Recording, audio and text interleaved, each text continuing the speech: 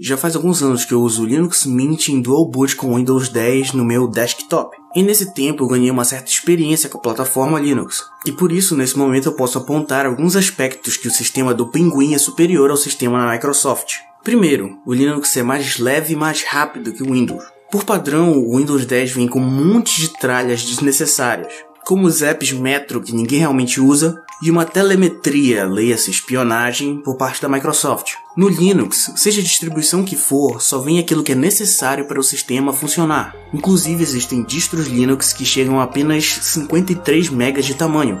Sim, um sistema desktop completo com apenas 53 MB. Segundo ponto, privacidade. Enquanto que no Windows 10 a espionagem, telemetria, que veio ativada por padrão no sistema da Microsoft, no mundo Linux o usuário tem a liberdade se quer ativar ou deixar desativada. E também existem outras distros que foram feitas exatamente pensando na privacidade do usuário. Terceiro, estabilidade. Eu simplesmente já perdi as contas de quantas vezes o Windows 10 já morreu e eu precisei formatar para consertar. E isso não tinha sido culpa de nenhum vírus, mas de atualizações vindas do próprio Windows Update, mas diferentemente no mundo Linux, isso nunca me aconteceu. E falando em vírus, quarto, segurança. No Windows é quase certeza absoluta que você já pegou ou ainda vai pegar um vírus. Por isso, o uso de antivírus no Windows é praticamente indispensável. Enquanto que no Linux eu nunca precisei me preocupar com isso. O sistema é tão seguro por si só que não precisa de antivírus.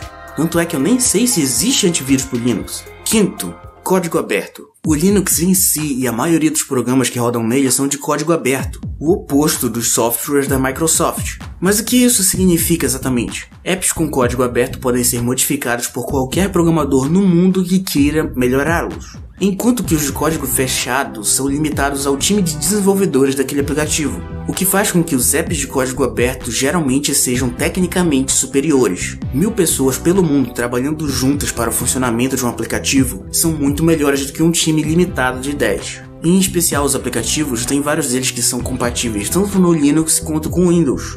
E agora, antes do meu último ponto que eu considero principal, devo avisar. O Linux realmente pode estar muito à frente do Windows nesses aspectos, mas o Windows ainda está muito à frente do Linux em outros aspectos, então você deve pesquisar antes de sair instalando um Linux. Você tem que saber se o Linux realmente atende às suas necessidades. Mas enfim, dado esse disclaimer, sexto ponto. O Linux é totalmente grátis. O Windows é pago, sabia? O que pode não fazer nenhuma diferença para você que pirateia, mas sempre quando há dinheiro envolvido, as coisas se complicam.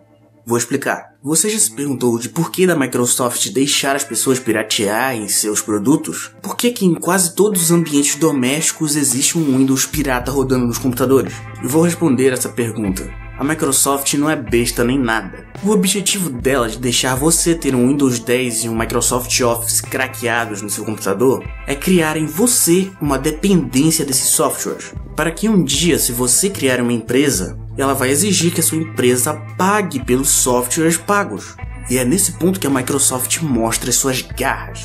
Então, usar Linux em um ambiente empresarial é um belo corte de custos. E a vantagem de usar aplicativos grátis no seu computador pessoal, mesmo que você use o Windows, é que você não estaria exposto a algum tipo de crack malicioso. No meu caso, em vez de usar o Microsoft Office, eu uso o WPS Office. Mas enfim, esse foi um pequeno resumo da minha experiência que eu adquiri com o mundo Linux, o sistema do Pinguim. Lembrando, caso você não saiba, que o Android também é Linux, então tecnicamente você usa Linux.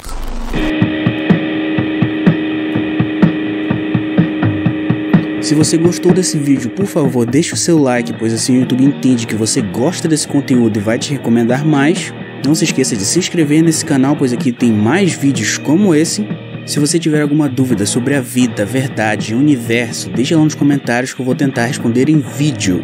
Se você quiser ajudar esse humilde canalzinho a crescer, por favor compartilhe esse vídeo no WhatsApp. E se você quiser ajudar esse humilde canal a continuar vivo, você pode ajudar através da campanha de financiamento coletivo do Apoia-se.